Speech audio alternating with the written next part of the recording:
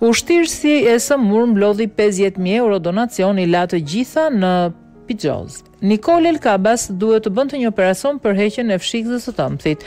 Dikush bëri një foto ndërsa kishte dhimbje në një spital dhe ajo më vonë e përdori këtë foto për të falsifikuar se kishte kancer në vezore dhe mblodhi plot 50.000 euro donacione përmes fushatës GoFundMe. Ajo u shpall fajtore të hënën për mashtrim dhe posedim të pasurisë së fituar në mënyrë të paligjshme, ka raportuar The Sun. Nicole, dyzet e dy vjeç, nënë e një djali njëmbëdhjetë vjeçar, nuk u diagnostikua kurrë me kancer dhe ajo përdori donacionet e mbledhura për të paguar borxhet e lojërave të fatit dhe për të financuar një jetë të shfrenuar. Ajo nisi një fushatë në internet të quajtur Askush nuk ka nevojë për ndihmën tonë të trajtimit, në të cilën pretendonte të shkruante